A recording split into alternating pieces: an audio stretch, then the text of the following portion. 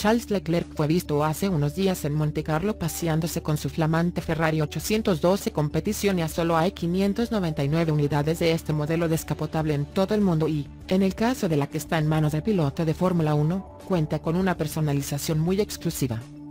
Es difícil cruzarse con un Ferrari 812 competición y aún más complicado todavía es que sea con la unidad que pertenece a Charles Leclerc. Si ya consigues ver el superdeportivo con el piloto de Fórmula 1 al volante, entonces se estudia de suerte. Hace unos días algunos afortunados se toparon con dicha escena, frente a un lujoso hotel de Mónaco.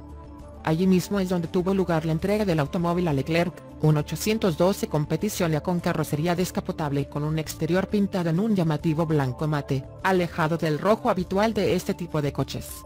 Sí, también se han visto en amarillo y negro, pero no es a lo que estamos acostumbrados, menos aún en el tono de esta unidad. Fruta de una personalización única y exclusiva, elegida por Charles, el modelo luce detalles en fibra de carbono como el techo o la tira del capó. También hay gráficos con el dorsal 16.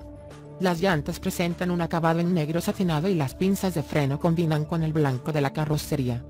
No es ni mucho menos el primer Ferrari que el departamento Taylor-Made prepara para el piloto de la escudería ya en su momento, le entregaron un Ferrari 488 pista de color negro mate y con detalles en rojo.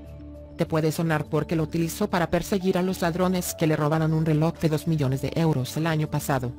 Carlos Sainz también tiene en propiedad un Ferrari 812 Competizione, pero no en su configuración descapotable. El cabalino incorpora un potente motor de gasolina V12 de aspiración natural, de 6.5 litros y 830 caballos se presentó en 2021 y en España se ofrecía por una suma total de 648 mil euros. Por supuesto, se agotaron las 599 unidades disponibles poco después de que se abrieran las reservas.